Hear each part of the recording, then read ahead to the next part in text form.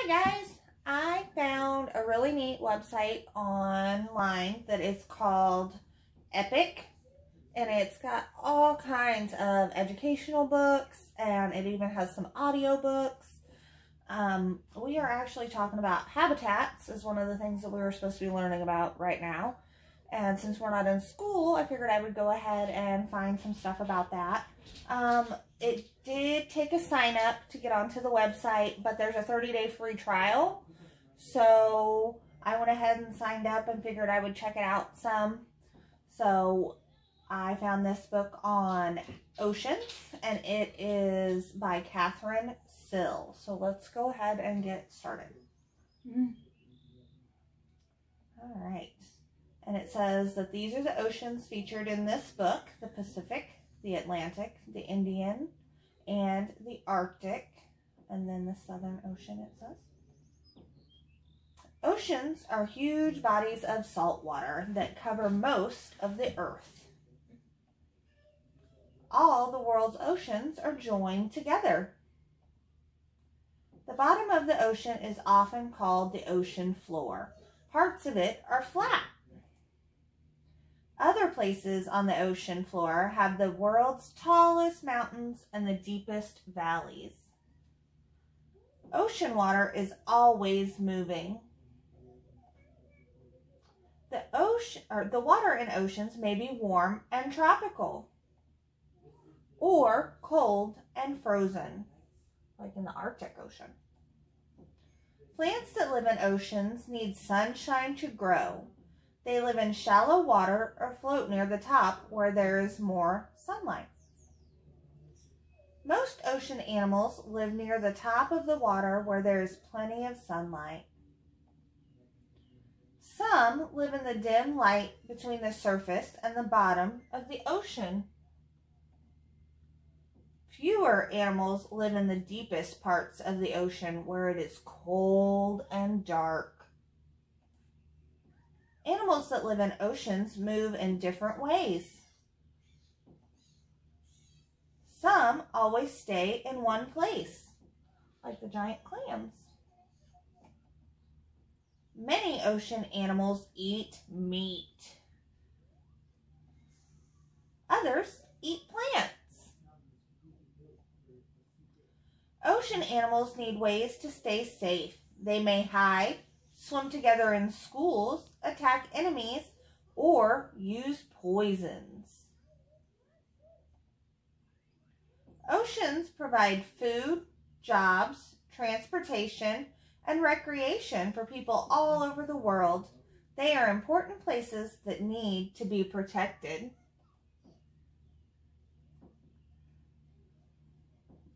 Plate 1. Oceans cover 7% of Earth all ocean water is salty. Most of the salt comes from land. The salt found in soil and rocks is dissolved in water and washed into the oceans by rivers. Underwater volcanoes also add salt to the ocean. Albatrosses spend most of their lives gliding over the ocean looking for food such as fish and squid. Wandering albatrosses have the largest wingspan up to 11 and a half feet or 3.5 meters of any bird in the world. They live in the Southern Ocean. Plate 2. There are five oceans in the world. The Pacific, Atlantic, Indian, Southern, and Arctic Oceans are all connected to form one world ocean. Smaller bodies of water linked to oceans are called seas and gulfs. Earth is sometimes called the blue planet because the huge size of the ocean causes it to look blue from outer space. Plate 3. The area of, of the ocean floor around the edge of each continent is called the continental shelf. It slopes out gently for many miles. Much of the deep ocean floor is covered by flat places called abyssal plains. Some rays live along the bottom of the ocean on the continental shelf. Their flat bodies help them hide and hunt. Southern stingrays use the venomous spines on their tails to defend themselves.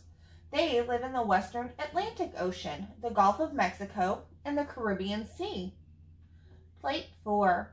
Mountains beneath the ocean are called seamounts. Many seamounts are under thousands of feet of water. The tops of some of these mountains rise above the ocean surface to form islands. The deep valleys on the ocean floor are called trenches. Scallop hammerheads, a type of shark, sometimes swim in large schools around seamounts. They live in temperate and tropical waters all over the world. Plate 5. Waves, tides, and currents keep ocean water in constant motion. Wind blowing across the surface of the ocean creates waves. Tides cause the ocean level to rise and fall two times a day in most places.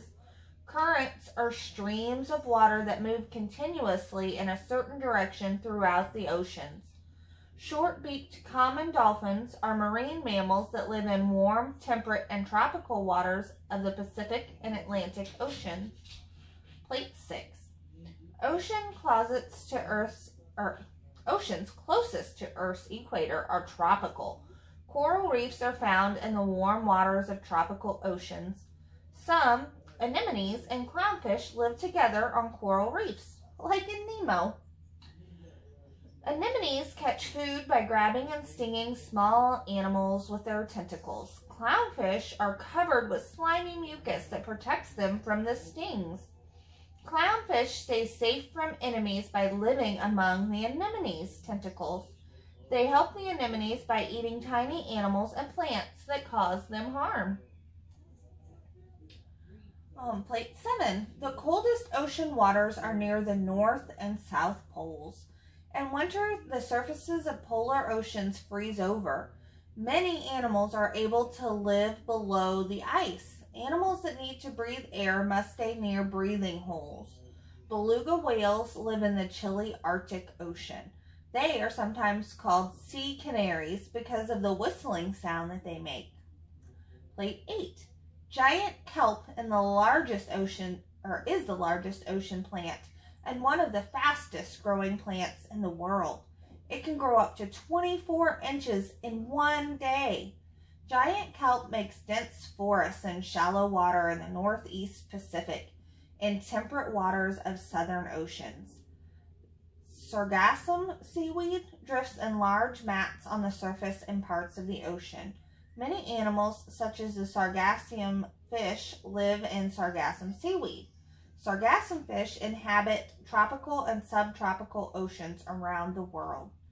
Plate 9. The top layer of the ocean is called the sunlit zone. Tiny plants and animals called plankton are plentiful in the sunlit zone. Plankton provides food for many ocean animals, including flying fish. Larger animals often feed on those that eat plankton. Flying fish are able to escape from predators by jumping out of the water and gliding through the air. Black-winged flying fish live in subtropical oceans around the world. Plate 10. The middle zone of the ocean is called the twilight zone. It has little sunlight. Sperm whales come to the surface to breathe, but they dive to the twilight zone to hunt for squid. They are able to stay underwater for up to two hours. Sperm whales live in deep waters in all the oceans. Giant squids can be up to 59 feet long. They are rarely seen in the wild. Their remains have been found in the stomachs of sperm whales. Giant squid probably live in all of the oceans. On plate 11, the deep part of the ocean that gets no sunlight is called the midnight zone. There is little food in this region. Some animals that live there eat dead plants and animals that have drifted down from the surface. Other deep ocean dwellers have long, sharp teeth for catching prey. Humpback angelfish, anglerfish have glowing lures that cause curious animals to come close to their large mouths. Anglerfish live in all the oceans.